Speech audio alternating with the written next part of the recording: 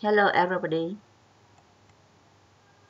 Today we study revision and practice.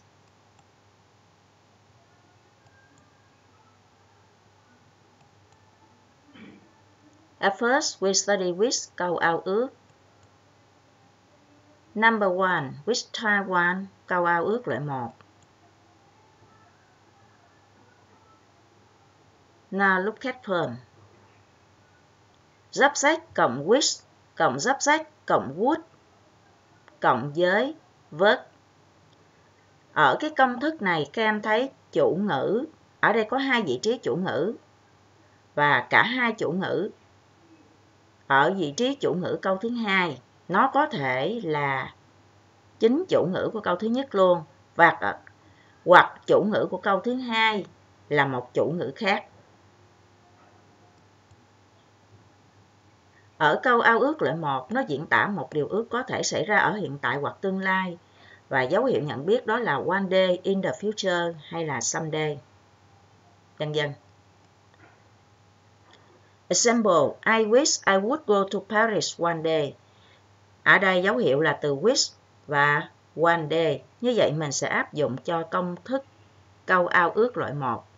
Would go. Number two, which title. Đây là câu ao ước loại 2. Now look at firm.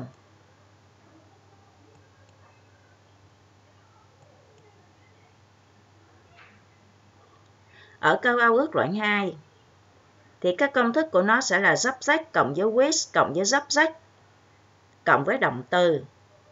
Nếu là động từ có quy tắc thì thêm đi và nếu là động từ bất quy tắc thì mình sử dụng cột thứ hai và lưu ý, nếu là động từ to be thì mình sẽ dùng were.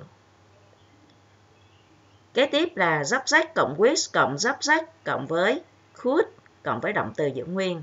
Và nếu nói là câu phủ định thì là subject cộng with cộng subject cộng didn't cộng với, cộng didn't với động từ giữ nguyên. Còn nếu là động là động từ to be thì mình dùng là were, not. Ở câu ao ước loại 2 diễn tả một điều ước không có thật, không thể xảy ra ở hiện tại và tương lai. Dấu hiệu nhận biết đó là mình nhìn vào động từ và mình thấy động từ chia ở hiện tại. Ví dụ như là dắp sách cộng don hoặc doesn't cộng với động từ giữ nguyên. dắp sách cộng với isn't hoặc aren't cộng với am not. Hay là dắp sách cộng can't cộng động từ giữ nguyên.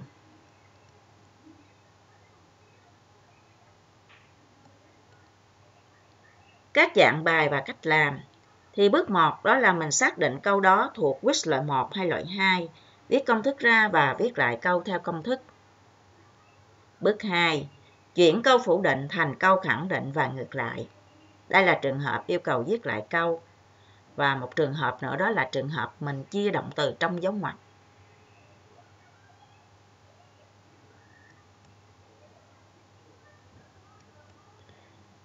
Exercise 1. Use the correct verb forms. Trên màn hình của các em là có 10 câu.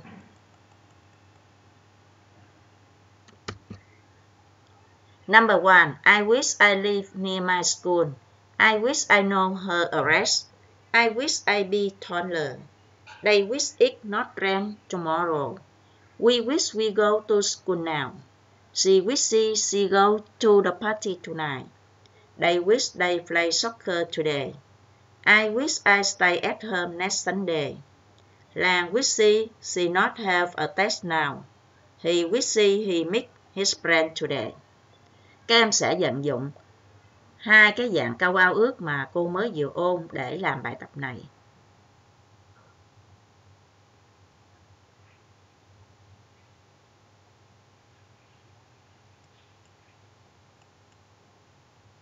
Now answer. Number one. I wish I live near my school. Và ở câu thứ nhất này mình sẽ áp dụng cho câu ao ước loại 2. Đây là động từ có quy tắc do đó mình thêm đi. Number two, I wish I knew her address. Ở câu thứ hai mình cũng áp dụng cho ao ước loại 2. No là động từ bất quy tắc. Như vậy thì mình sẽ viết nó ở dạng ở cột 2 là no. Number 3. I wish I be.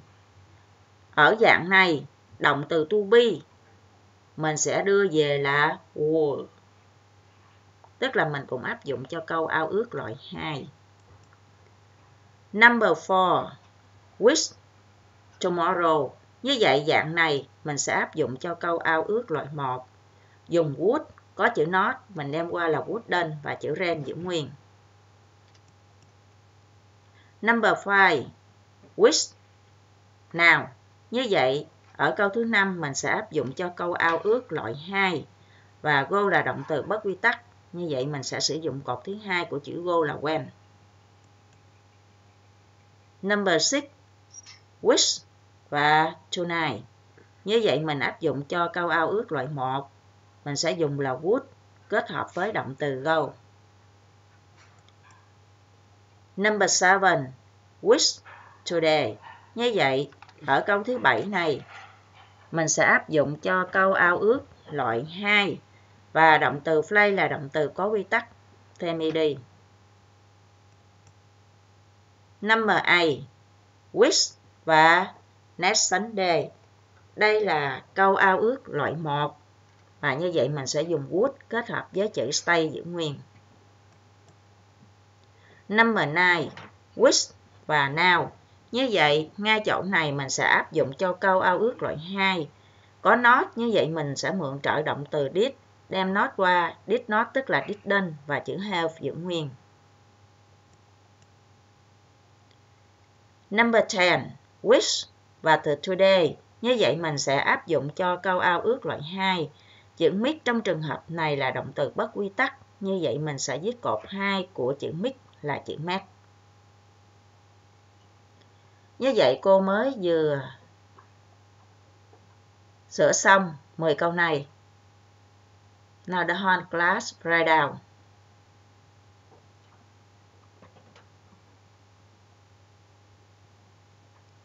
Now on with you read the sentence. I wish I lived near my school. Number two, I wish I knew her address. Number three, I wish I were taller. Number four, they wish it wouldn't rain tomorrow. Number five, we wish we went to school now. Number six, she wishes she would go to the party tonight. Number seven, they wish they play soccer today. Number 8, I wish I would stay at home next Sunday. Number 9, Lan wishes she didn't have a test now. Number 10, he wishes he met his friends today.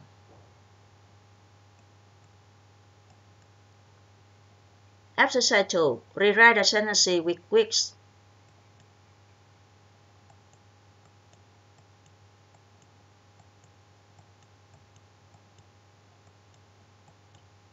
Trên màn hình các em thấy có 5 câu. Number one, the weather is nice today. Number two, we live in a small house. Number three, I don't have a longer vacation. Number four, he can't pass the examination. Number 5. It rains heavily. Như vậy, áp dụng hai cái công thức ao ước loại 1 và loại 2 và các dạng bài, cách làm bài các em sẽ áp dụng và làm cho cô, viết lại câu cho cô với quiz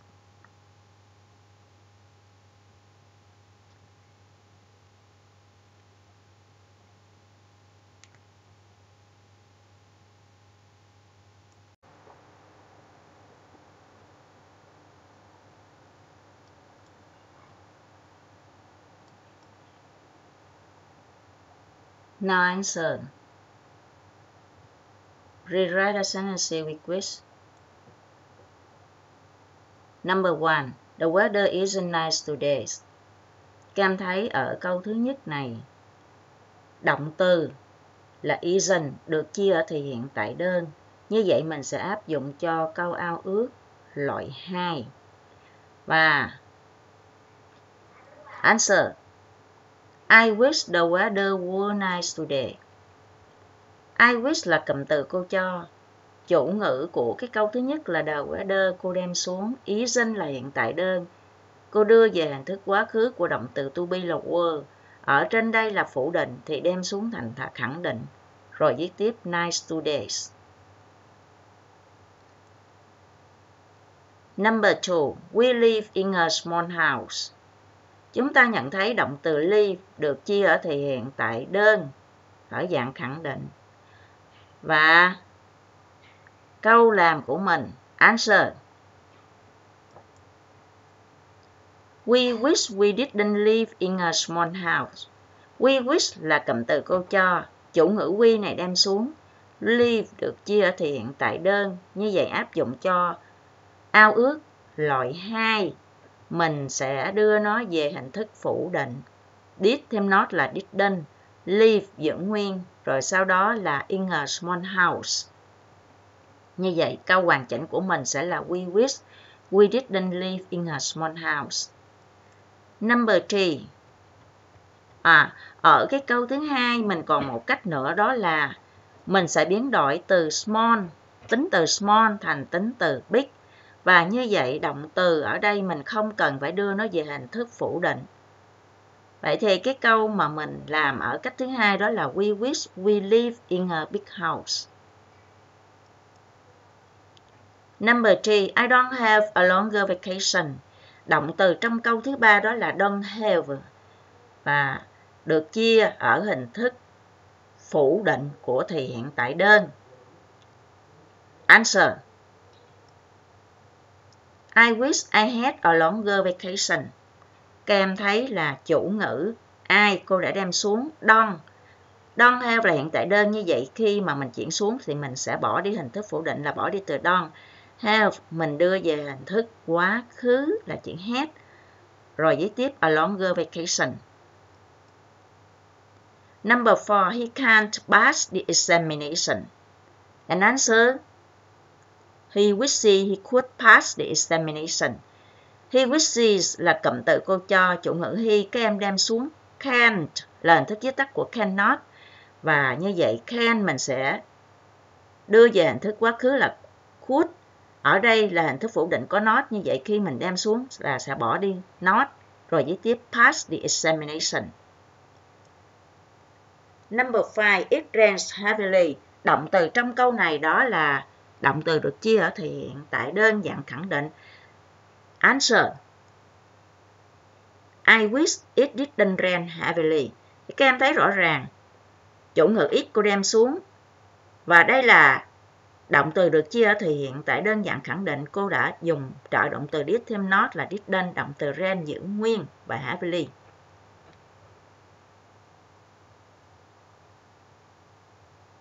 Now, uh, on the you read these sentences.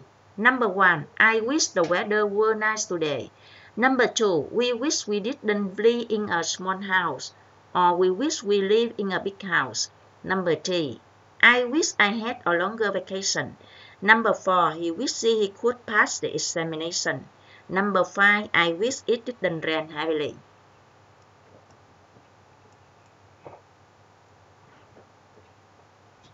We continue to Connecticut. Cái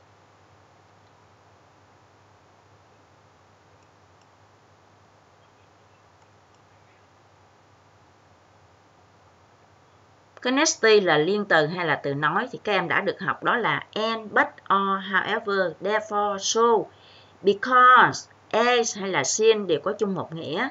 Although, do hay là even though đều có chung một nghĩa. Và trên màn hình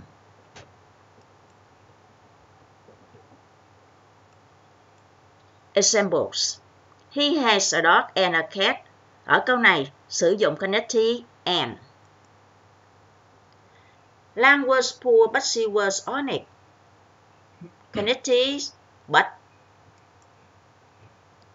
Nhan is intelligent but lazy. Và ở câu này cũng sử dụng Kennedy, but. Do they live in the city or in the country? Kennedy? or. Nam is very tired. However, he has to finish his homework before he goes to bed. Kennedy. However. She heard the bad news, so she cried. Connected, show. He is busy, therefore he can't help you. Connected, therefore. She cried because she heard the bad news. Connected, because. Although we were tired, we continued working. Connected, although.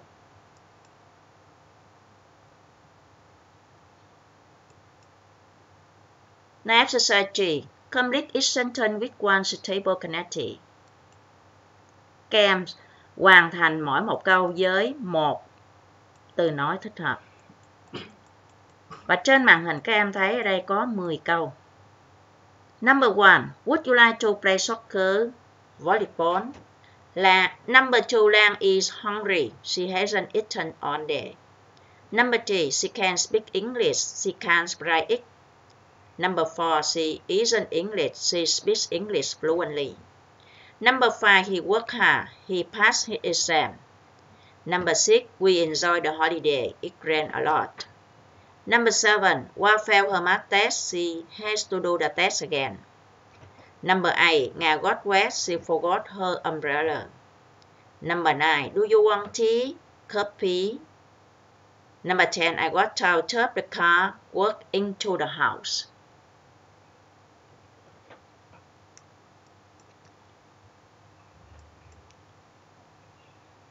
Now answer.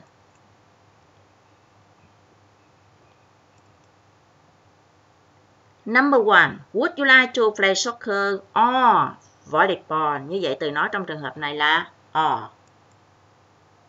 Number two, Lang is hungry because she hasn't eaten all day. Connected because.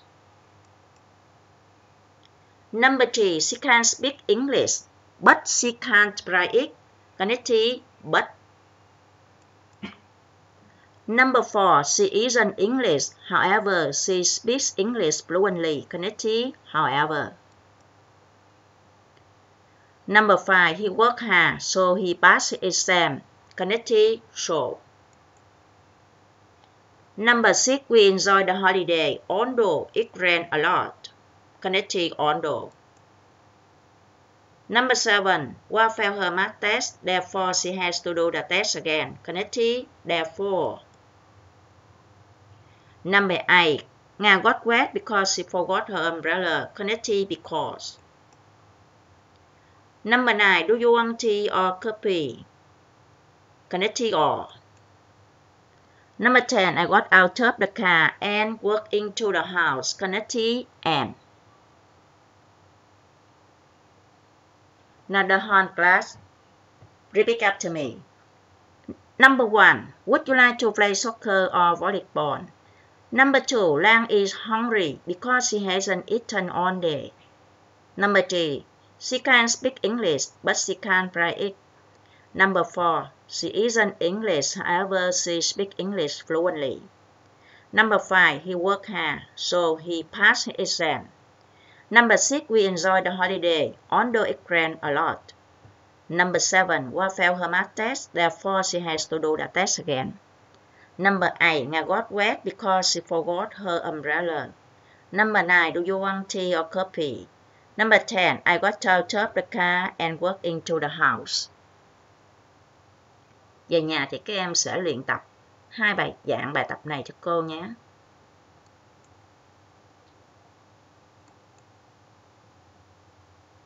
Chúc các em học tốt. Goodbye.